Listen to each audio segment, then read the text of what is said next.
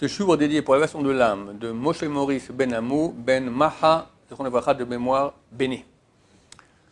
Euh, donc la question de Avishai. Avishai nous pose la question. On voit très souvent dans les écrits des sages d'Israël propose des fêtes, comme je pose la question, mais en fait c'est beaucoup, pour, beaucoup de mitzvot. Voilà, ça c'est le, le, plus important. D'accord? Euh, Shavuot, c'est pareil que la, la, prière de Shavuot, on arrive à un niveau qui est le plus haut de toute l'année. Euh, l'année il a de Kippour, c'est la prière la plus haute de toute l'année. C'est écrit que le Harvit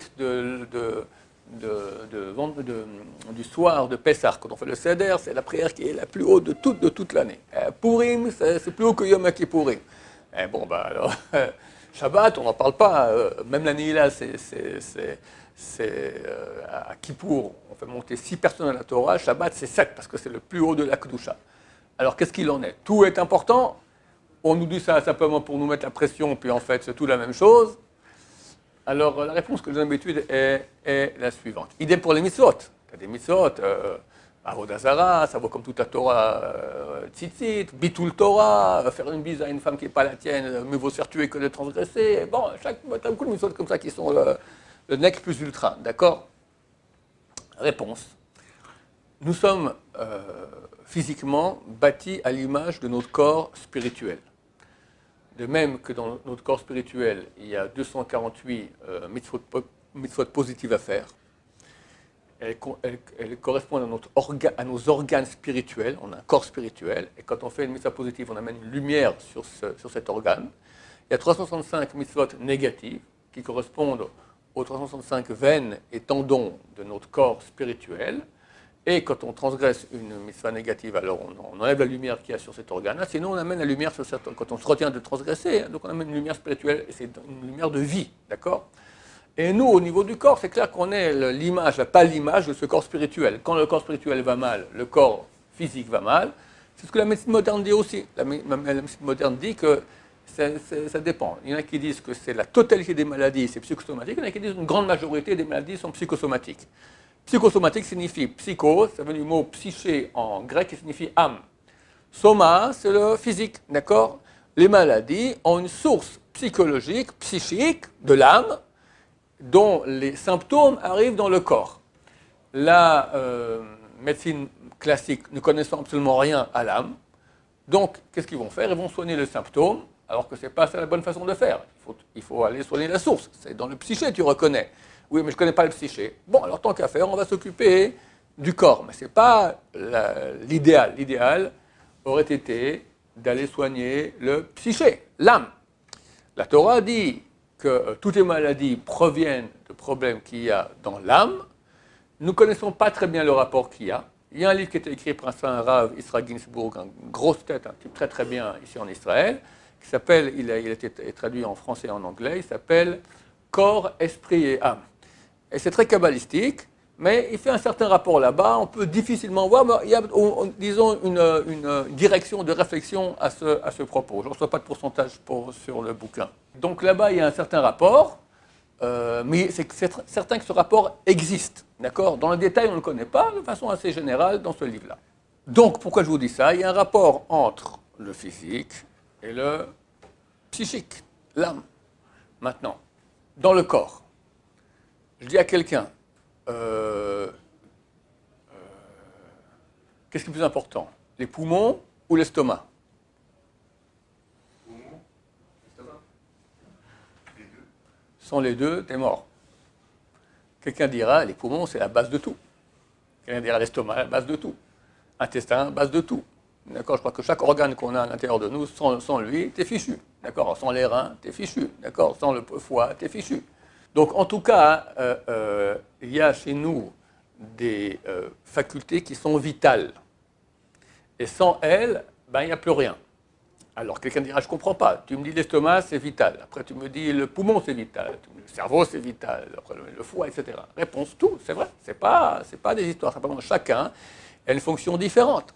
La fonction Pessar, c'est une fonction Pessar. Tu as une fonction Shavuot, tu as une fonction Tzitzit, tu as une fonction Avodazara, tu as une fonction Shabbat, tu as une fonction Neila, tu as une fonction Purim. Chacun en soi, c'est comme un des organes vitaux du corps. Sans lui, ça ne va pas. C'est très important que de remplir cela de lumière. Évidemment, un corps en bonne santé, ben, il remplit tout. D'accord? On commence le matin à Birkot Shachar. Le Ben Ishra explique que dans le monde, il y a, dans, le monde spirituel, dans notre âme, il y a 22 lettres. Les 22 lettres avec lesquelles le monde a été créé. D'accord c'est, le biais par lequel c'est, le monde le plus haut. Quand très, très prochainement, déjà maintenant, dans, le, dans les Slichot, on fait le vidouille. Mais le vidouille est très important, c'est à faire pendant, pendant Yom Kippour. Euh, qu'est-ce qui se passe quand on fait le vidouille à Yom Kippour? Ça se fait un peu tous les jours, mais à Yom Kippour, c'est le grand jour il y a une lumière très très grande qui descend du monde des lettres. Quand on fait le vidéo, on fait d'après les lettres. Hachamnu, Bagadnu, Gazanu, Aleph, Bet, Gimel, Dalet, etc. Après, dans l'autre sens, depuis Taf, Shin, Resh, depuis la dernière jusqu'à la première. Quand on fait cela avec intention, pleure si possible, regret des péchés qu'on a faits, alors on fait descendre une lumière depuis le monde des lettres dans notre âme, elle nettoie tous les péchés. Elle nettoie tous les péchés. Parce que le monde de l'Est, c'est le monde basique. C'est par là que tout a commencé. Tu as créé le monde avec la parole. C'est quoi la parole? C'était, il a fait. Les petits enfants croient qu'il y a le bon Dieu avec sa barbiche, d'accord? Et puis, hop, il a dit, il y a or qui est lumière, hop, dans, le, vide intersidéral, tout à coup, il y a eu de la lumière, d'accord? C'est pas comme ça. C'est pas ça la parole de Dieu. La parole signifie que la pensée qu'il avait, elle s'est réalisée. Réalisation de la pensée, c'est ce qu'on appelle parole chez Dieu. Réalisation, comme ça, le Ramban, Nachmani explique cela il y a 200 ans, 800 ans dans son Pérouge sur la Torah, dans la création. D'accord C'est la réalisation de la pensée, passage de la pensée à réalité. C'est ce qu'on appelle parole. Comment il a fait ça? Au moyen de 22 forces euh, divines auxquelles correspondent les 22 lettres de l'alphabet. Tu as une force qui est appelée Aleph, une force qui est appelée Bel, qui est appelée Gimel. Maintenant, quand il fait il veut, je sais pas moi, il veut créer un arbre, d'accord? Or, on va dire or, c'est trois lettres, Aleph, Vav, Resh. Alors il fait une combinaison de ces trois euh, forces divines et ça crée la lumière. D'accord? C'est ça. Donc le monde euh, des lettres a monté extrêmement haut. Donc, dit le Ben Ishraï, tous les matins, quand on fait Birkot HaShachar, quand on fait les bénédictions du matin, rien qu'ils viennent, ils font genre TGV, d'accord? Alors, ça marche. Mais la lumière, il dit que c'est, quand on fait ces brachot, ça donne la lumière à ces 22 lettres. Tu fais la bracha très vite, alors tu as une lumière faible. Euh, tu la fais comme il faut bien, avec intention, tu illumines ces lettres. Et après, toute la journée, ça t'accompagne et ça illumine ton être. Alors, toute la prière de Shachrit, c'est une lumière fantastique, c'est un cadeau que nous les prophètes d'Israël. C'est, n'est pas les rabbins, c'est les prophètes. Les prophètes, ils voient tout, d'accord? On dit que Rabben Ouari, la Kabbalah moderne, d'accord, il donne, intention kabbalistique de la prière de, de l'Amida, de Shachitouch, Maïsra, etc. Quand quelqu'un voit ça, il a mal à la tête, d'accord? C'est des pages et des pages et des pages d'intention kabbalistique. Ceux qui, les kabbalistes qui font vraiment l'Amida ou qui font Shema Israël, d'accord, ça prend des heures. Un très très grand kabbaliste, le Rav Salman Yaakov Salman Moutsafi, d'accord, le père de Rav Salman Moutsafi actuel, d'accord, c'est un très très grand kabbaliste, lui priait net. Mais il finissait sa prière avec le dernier minyan à Moussayov à 11h, à 11h du matin. D'accord? Parce qu'il allait lentement à son rythme. Il priait. Mais c'était des monuments, des édifices spirituels énormes qu'il construisait. Nous, on fait en plus court. Allez, une heure, une heure et demie de prière le matin, Drat Hashem. Moins que non, je ne sais pas comment on peut faire ça, d'accord Et ça amène une lumière fantastique sur l'être. C'est fantastique. Ça nous accompagne toute la journée. C'est une approche de Dieu. C'est un contact avec Dieu. Quand Quand tu es en contact avec Dieu? Quand tu étudies la Torah aussi. Mais ça, c'est rationnel. Mon niveau du cœur dans la prière. Alors déjà, quand tu commences rien que tu es à moitié endormi, tu commences maintenant le matin, tu fais Birkot Shachar, au lieu de le faire grand, euh, en, TGV, tu fais lentement, comme il faut bien. J'ai lu un livre sur Baba Saleh, d'accord, son genre témoigne, il disait les Birkot Shachar lentement. Baba Saleh n'avait pas de temps à perdre, il devait étudier toute la journée, d'accord Commencez Birkot Shachar? Lentement, mot à mot. Donc ainsi, on va remplir notre âme de lumière, ça va illuminer notre corps. Et Laurent, ce que, ce que tu m'as demandé comme question, j'ai oublié, qu'il y a un rapport entre les deux. D'accord? Celui qui illumine son âme, il illumine son corps, et bien sûr, les parties qui sont plus importantes. Ah, je me souviens ce que je voulais dire.